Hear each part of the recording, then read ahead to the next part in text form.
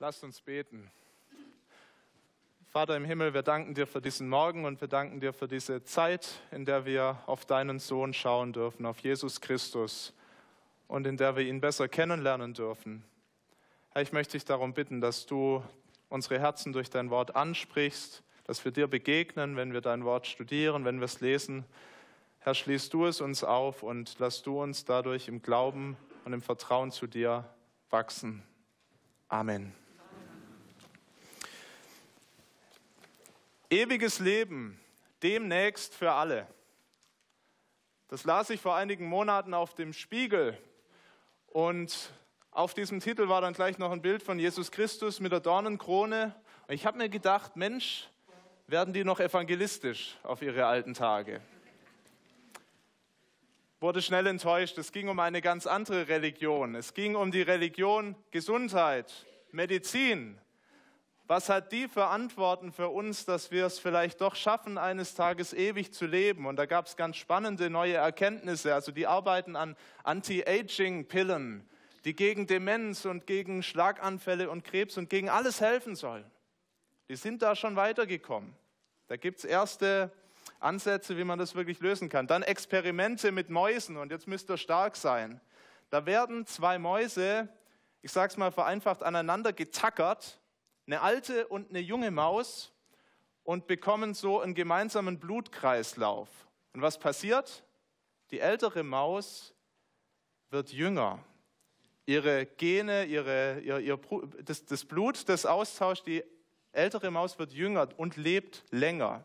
Das ist faszinierend. Auch ein bisschen gruselig. Und die fragen sich, kann man das auch mit Menschen machen? Vielleicht wollt ihr euch freiwillig melden. Alle großen Internetunternehmen, Google, Amazon, Facebook und wie sie alle heißen, investieren Milliarden in das Geschäft Gesundheit. Wie kann man Menschen gesünder machen? Und da wir mit, im Moment noch nicht so weit sind, lassen sich einige Menschen, in den USA sind es mittlerweile über 200 Menschen, Schockfrosten in kalten Stickstoff, flüssiger Stickstoff für den Tag, an dem er die Krankheit besiegen kann, an dem er sie wieder auferwecken kann und an dem sie ewig leben können. Kostet dich, ich habe es mal nachgeschaut, 28.000 Dollar, Vorkasse natürlich, ist ganz wichtig.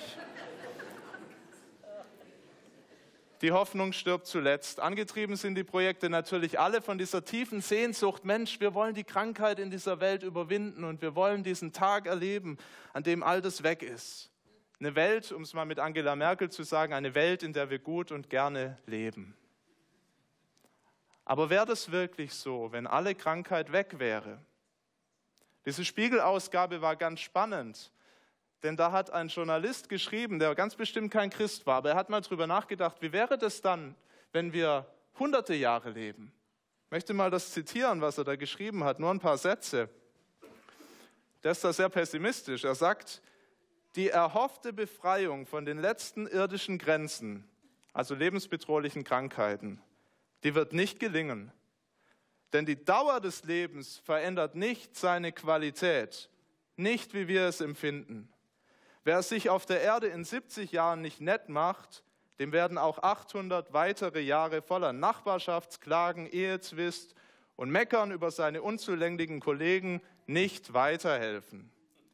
Selbst als attraktive Alte mit XXL Lebenserwartung werden wir uns im Dunkeln mit dem C am Bett stoßen und vor Liebeskummer weinen. Das ist natürlich sehr suffisant ausgedrückt, aber er erkennt eine ganz tiefe Wahrheit. Es ist ja nicht das Einzige in dieser Welt, was uns das Leben schwer macht, die Krankheit. Und es wäre vielleicht gar nicht so schön oder ganz sicher gar nicht so schön, ewig in dieser Welt zu leben. Es gibt viel größere Nöte und die kann man nicht mit einer Pille lösen. Und wir sehen das heute, was die Lösung ist, wenn wir weiterschauen im Lukasevangelium, Lukas 5, Verse 12 bis 32.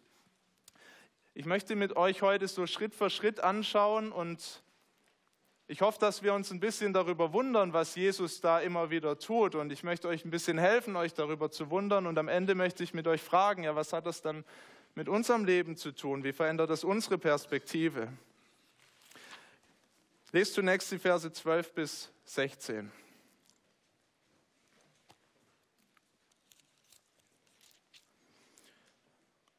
Und es begab sich, als er, als Jesus in einer Stadt war, siehe, da war ein Mann voller Aussatz.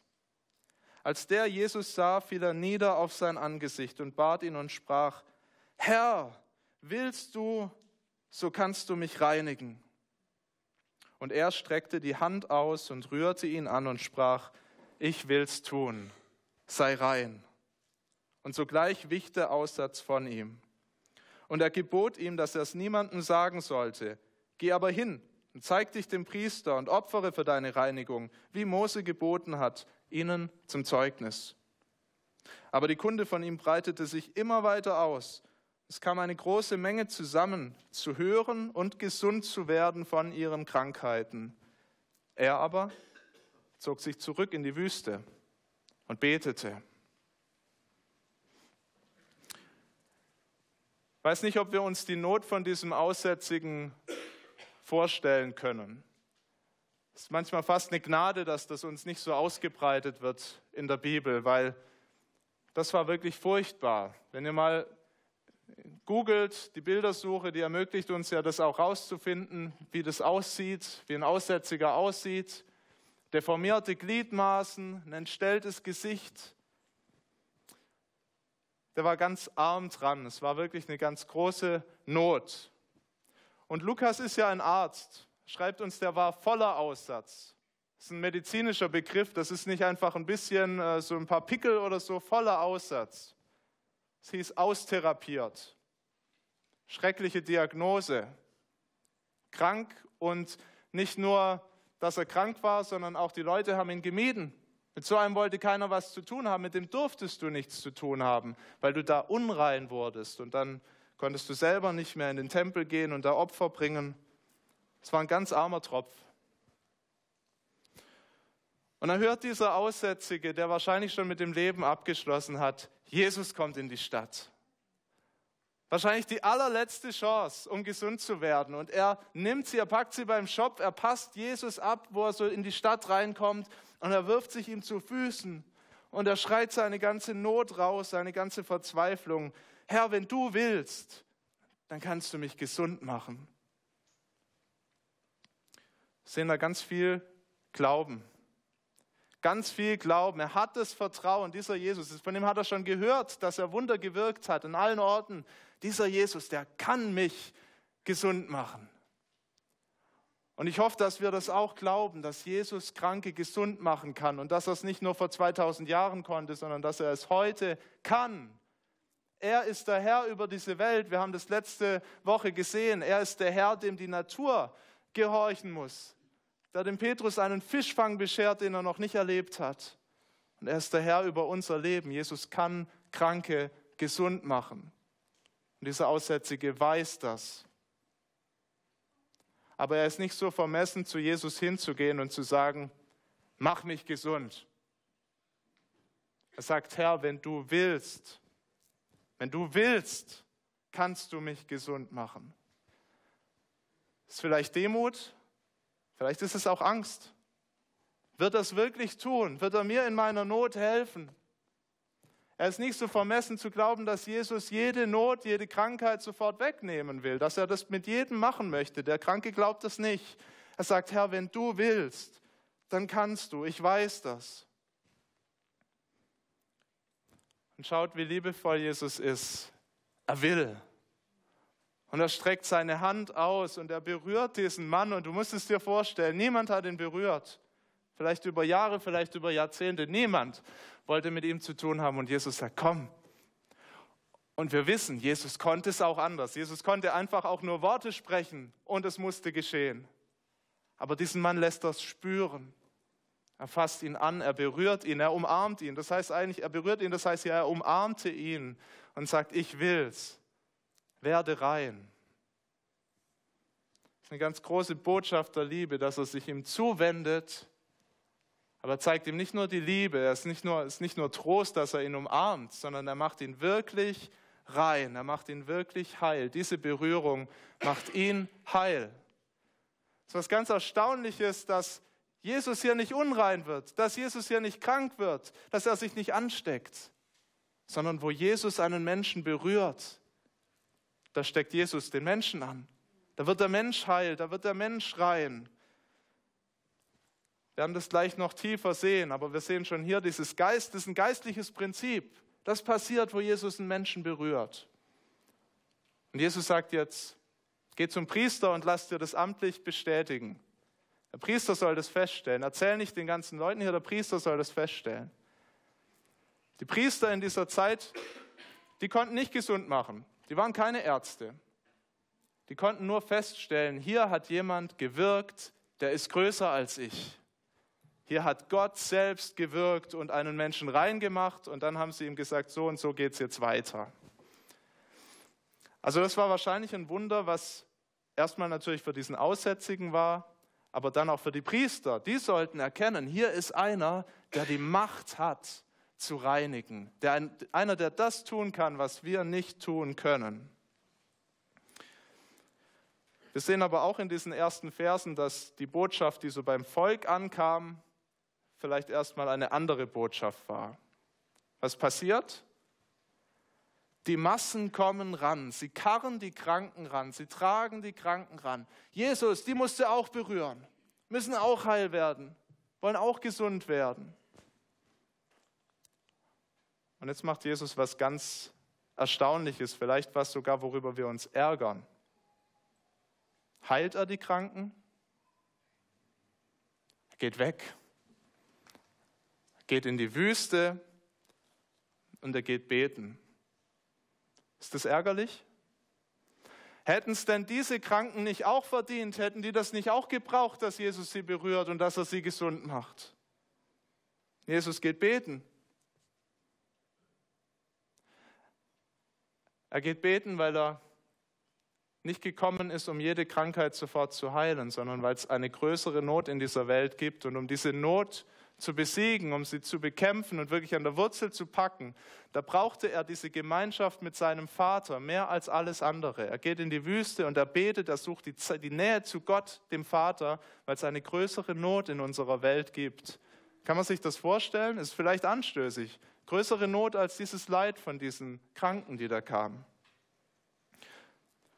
Der Schaden dieser Krankheit, die hinter dieser Welt steht, die über allem drüber liegt, der ist so unermesslich groß, du kannst ihn eigentlich nicht in Zahlen beziffern. Ich möchte uns aber trotzdem mal ein Gespür dafür geben, was diese Krankheit macht mit dieser Welt. Über 30 Kriege und bewaffnete Konflikte in der ganzen Welt und über 65 Millionen Flüchtlinge, die dadurch vertrieben werden und in andere Länder gehen müssen.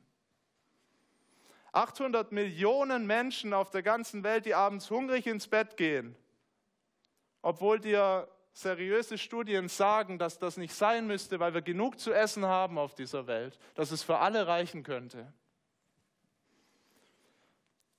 Wir können aber auch nach Deutschland schauen. Über 100.000 Kinder jedes Jahr, die ihr Leben verlieren, die im Mutterleib getötet werden, die nicht zur Welt kommen dürfen, weil andere Werte wichtiger sind. Jährlich ca. 24.000 Ehescheidungen allein in Bayern. Mobbing am Arbeitsplatz, sexuelle Gewalt und wenn euch das immer noch zu weit weg ist, dann der Streit in den Familien jeden Tag.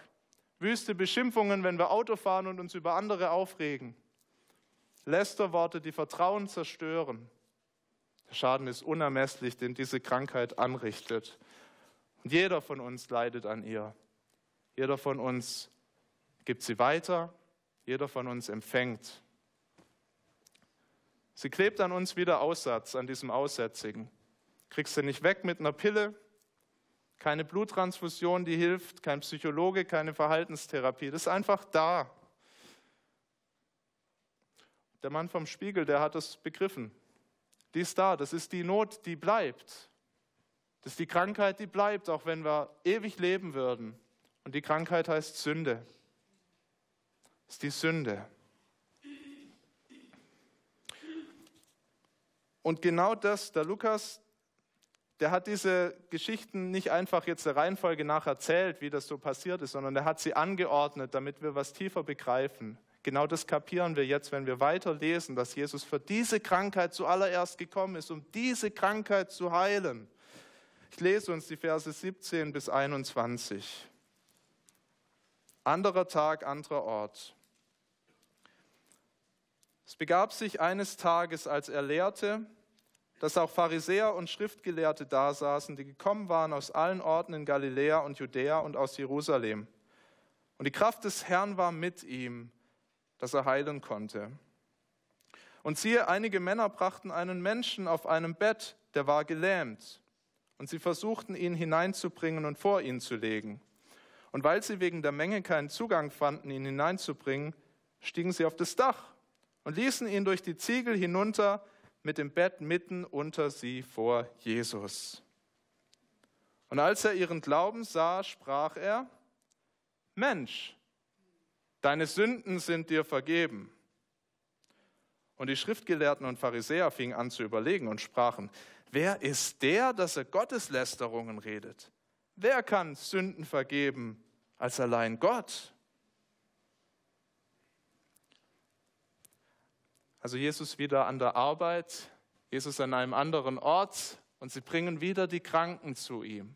Und die Schriftgelehrten sind da, fast wie eine Jury, die wollen mal sehen, was tut Jesus heute. Und dann nehmen diese Männer das auf sich, sie bringen ihren kranken Freund und steigen da aufs Dach und lassen ihn runter vor Jesus. Und was macht Jesus? Heilt er ihn? Er redet lieber. Sagt, Mensch, dir sind deine Sünden vergeben.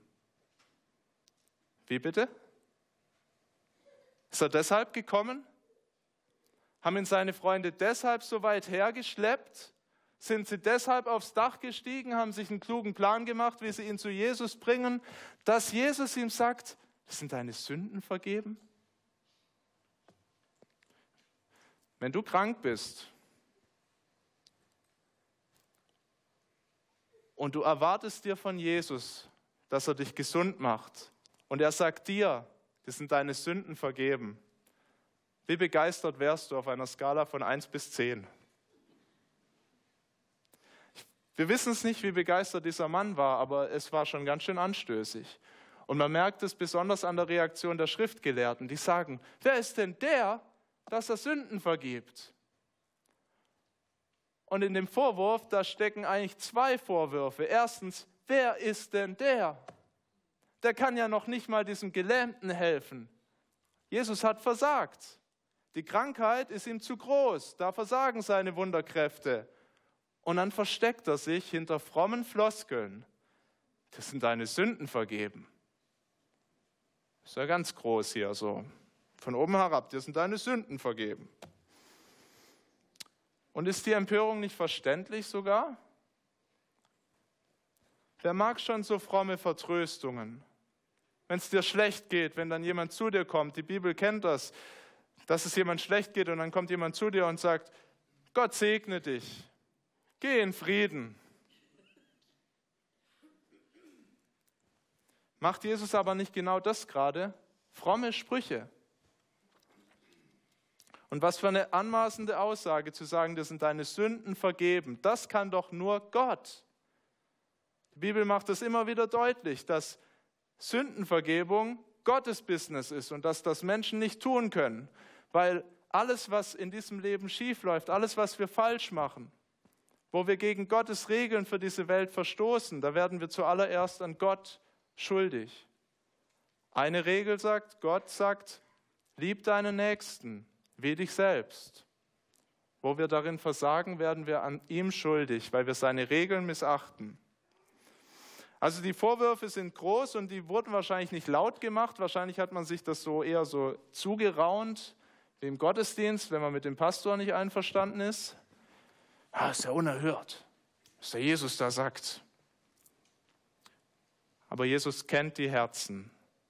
Ich finde das wunderbar. Das ist es zeigt uns auch was von seiner Göttlichkeit. Er sieht in diese Herzen hinein und er sieht die Vorwürfe, die sie haben und die sie vorbringen, dass sie das richtig stört und richtig ärgert. Und er geht drauf ein. Und er fragt, ab Vers 22, Was ist leichter zu sagen? Dir sind deine Sünden vergeben oder zu sagen, steh auf und geh umher? Was ist leichter zu sagen? Natürlich warme Worte zu machen. Es ist leichter, jemand zu sagen, dir sind deine Sünden vergeben. Kann ja jeder behaupten. Damit ihr aber wisst, dass der Menschensohn Vollmacht hat auf Erden, Sünden zu vergeben, sprach er zu dem Gelähmten, ich sage dir, steh auf, nimm dein Bett und geh heim. Jesus heilt. Das Unmögliche geschieht. Dieser Gelähmte wird gesund, er kann aufstehen, kann sein Bett nehmen und fröhlich nach Hause gehen.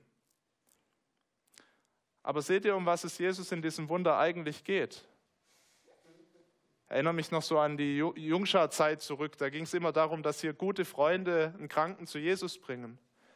Aber eigentlich geht es in dieser Geschichte darum, Jesus tut ein ganz großes Wunder. Er erlässt diesem Menschen seine Schuld, vergibt ihm seine Sünden.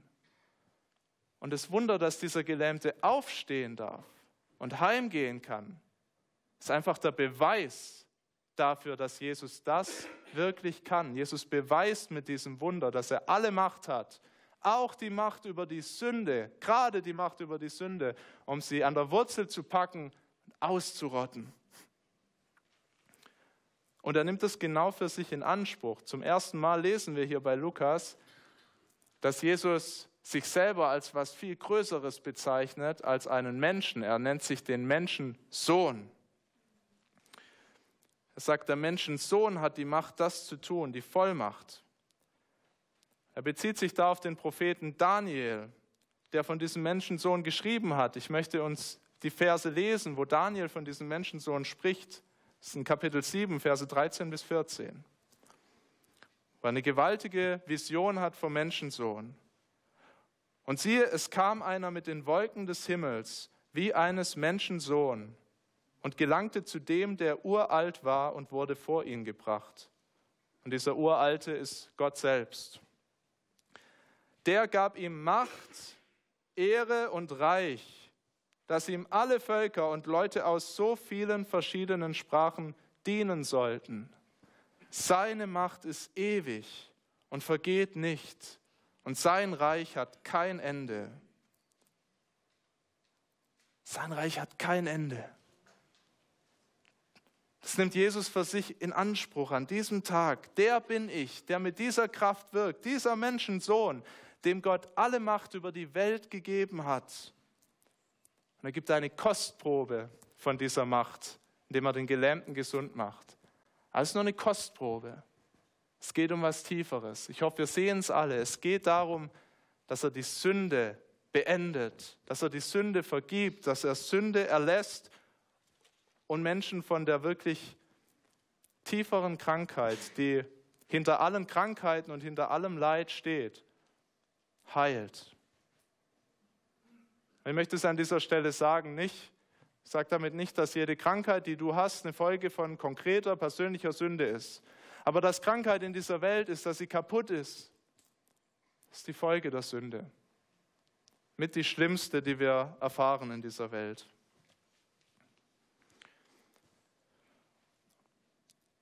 Also wir sehen hier, dass Jesus ein Arzt für Sünder ist. Und genau das wird jetzt nochmal sehr anschaulich, wenn wir uns den letzten Abschnitt anschauen und schauen, wie er den Sündern begegnet, wo dieser Arzt für Sünder als erstes hingeht. 27 bis 32. Und danach ging er hinaus und sah einen Zöllner mit Namen Levi am Zoll sitzen und sprach zu ihm, Folge mir nach. Und er verließ alles, stand auf und folgte ihm nach. Und Levi richtete ihm ein großes Mahl zu in seinem Haus, und viele Zöllner und andere saßen mit ihm zu Tisch. Und die Pharisäer und ihre Schriftgelehrten murrten und sprachen zu seinen Jüngern, Warum esst und trinkt ihr mit den Zöllnern und Sündern? Und Jesus antwortete und sprach zu ihnen, Die Gesunden bedürfen des Arztes nicht, sondern die Kranken. Ich bin gekommen, die Sünder zur Buße zu rufen und nicht die Gerechten.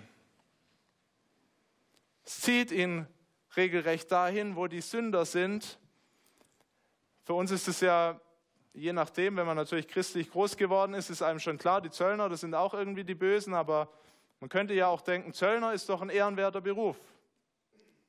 Wenn du in die Schweiz fährst und da grüßen sie sich freundlich, haben sie was zu verzollen.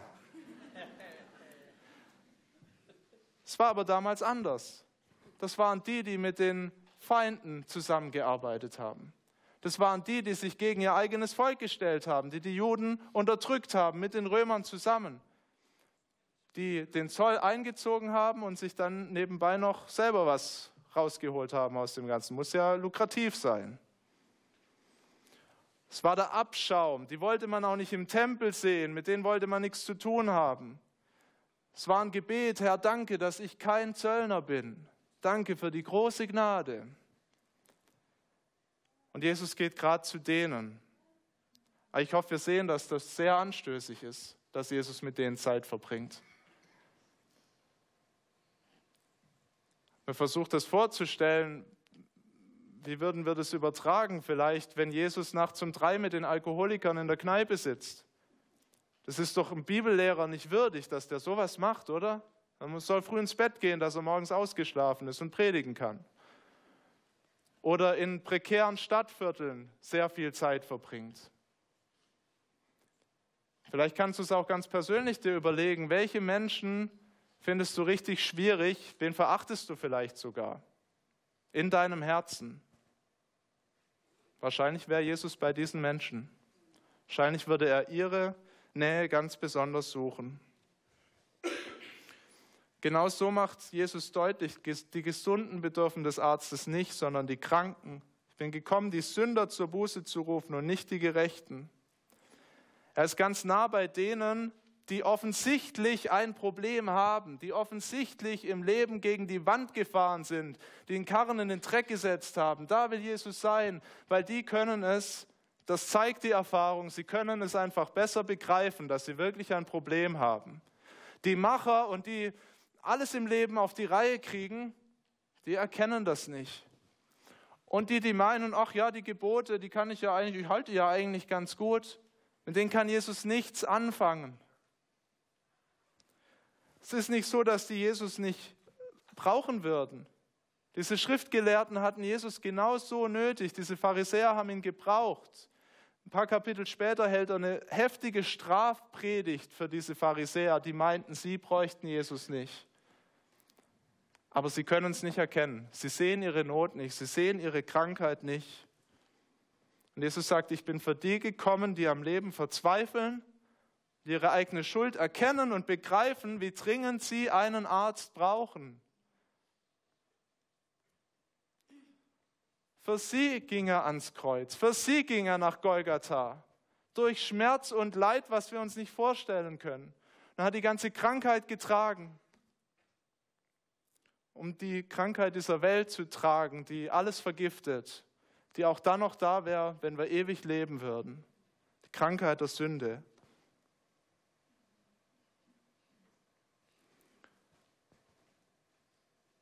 Ich habe gebetet heute Morgen, dass es einen gibt, der sagt, ich erkenne, dass ich diesen Arzt brauche. Wenn es nur einen gibt, dann wäre das, ja, dann hätte Gottes Wort hier getroffen, weil jeder von uns braucht diesen Arzt. So sehr. Ich hoffe wirklich, dass du das erkennst, dass du ihn brauchst. Vielleicht erkennst du es zum ersten Mal. Und deine Antwort kann und soll nur sein, das, was Jesus hier sagt, tu Buße. Das heißt, kehr um, folge Jesus nach. Er ruft jeden, der erkennt, dass er diese Not hat, dass er ihn braucht.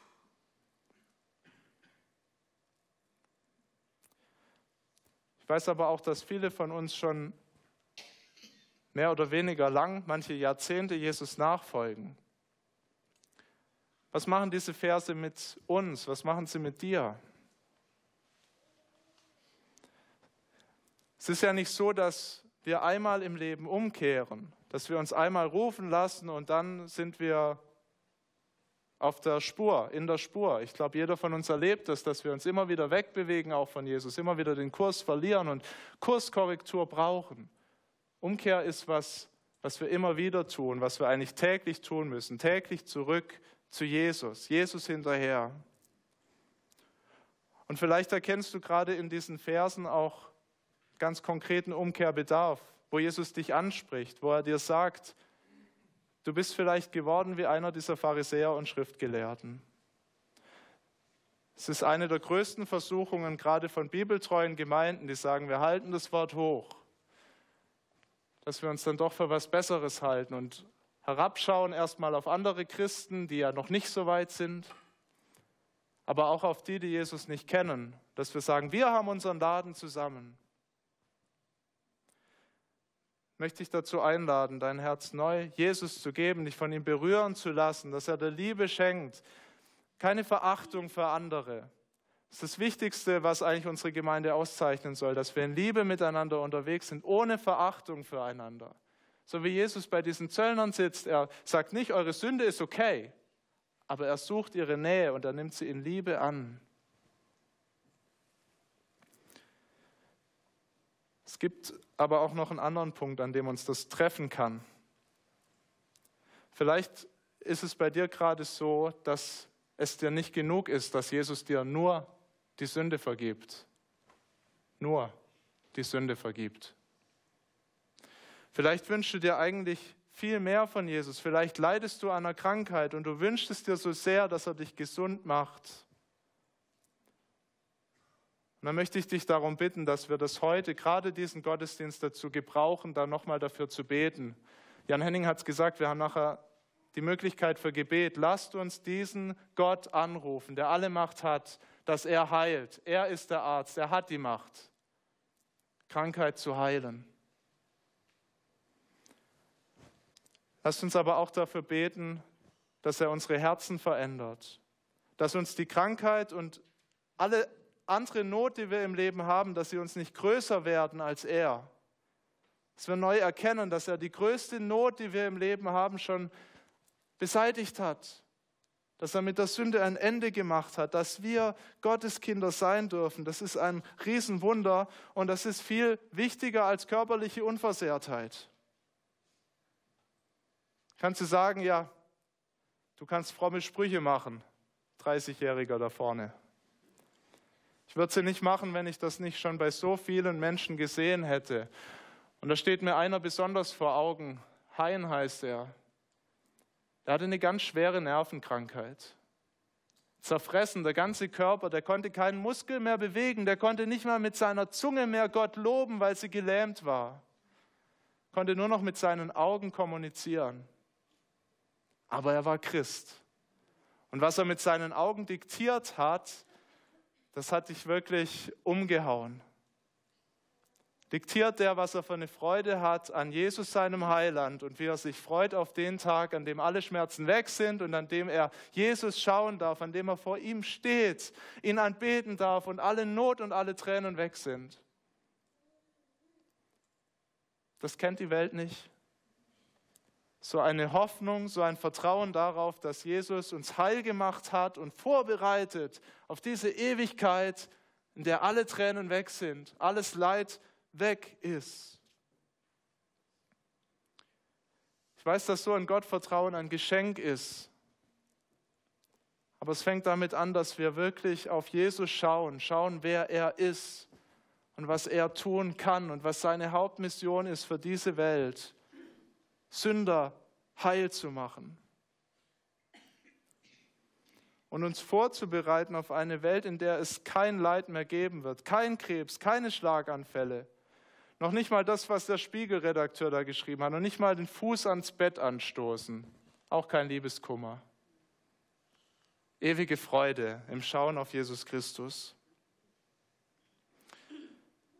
Und ich weiß, dass auch in unserer Gemeinde derzeit einige leiden und einige von der Krankheit geplagt sind. Und ich möchte euch nochmal einladen, lasst uns dafür beten. Aber ich möchte euch auch Verse aus der Offenbarung zum Ende zusprechen, die uns darauf vorbereitet. Wir gehen auf einen ganz anderen Tag zu, auf eine ganz andere Zeit, in der dieses Leid nicht mehr sein wird. Offenbarung 21, 3 bis 5.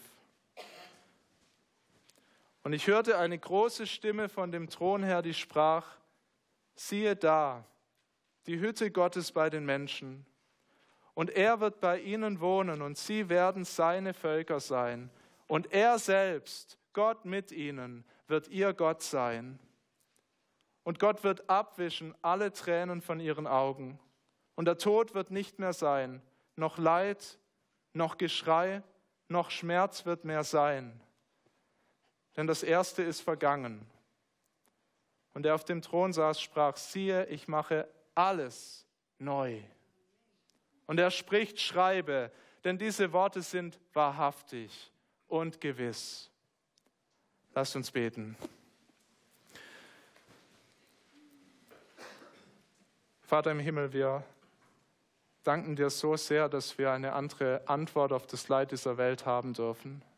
Dass du uns gezeigt hast, was die große Not, die große Krankheit ist, an der wir leiden. Aber dass du uns auch gesund machst. Dass, wo Jesus uns berührt, wir wirklich heil werden dürfen. Wir in die Beziehung zu dir kommen, wir von Feinden zu deinen Freunden werden möchte ich bitten, dass uns das immer kostbarer wird und dass wir auch all unsere Probleme im Leben in diesem Licht sehen. Du bist so viel größer und wir gehen auf diesen Tag zu. Herr, danke, dass das keine Ewigkeitsvertröstung ist, sondern eine klare Perspektive. Du machst alles neu. Ich möchte beten für alle, die krank sind, die wirklich darunter leiden. Herr, du siehst die körperlichen Nöte, du siehst auch die seelischen Plagen. Bitte greif du ein. Du bist der Herr dieser Welt, du kannst heilen. Wir wollen dich bitten, dass du es tust. Und wir wollen dich darum bitten, dass wir ja in unseren Herzen aber die Gesundheit nicht höher stellen als dich. Herr, dass du der Größte bist in unseren Herzen, größer als alles andere, größer als Leid und Not. Danke, dass du das kannst und dass du da an uns wirkst durch dein Wort. Amen.